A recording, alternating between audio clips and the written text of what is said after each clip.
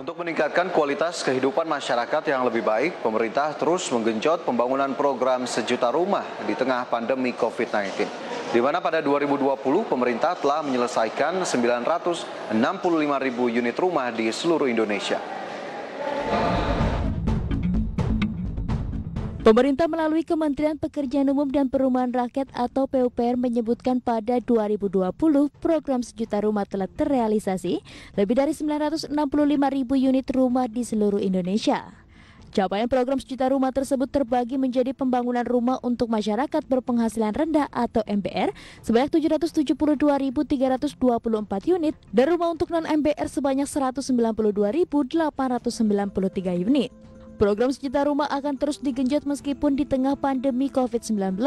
Pemerintah berharap dengan terus berjalannya program sejuta rumah dapat menggerakkan perekonomian masyarakat, salah satunya sektor properti karena memiliki multiplier efek yang besar dalam menggerakkan lebih dari 140 industri.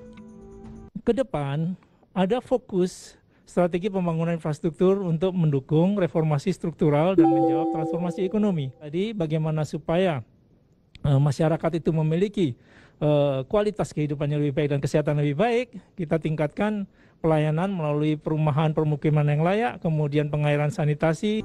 Selain itu, ke depannya pemerintah telah menyiapkan pedoman bagi para pekerja untuk melaksanakan pekerjaan pembangunan di lapangan sesuai dengan protokol kesehatan seperti menggunakan masker dan menghindari kerumunan. Berbagai sumber, IDX Channel.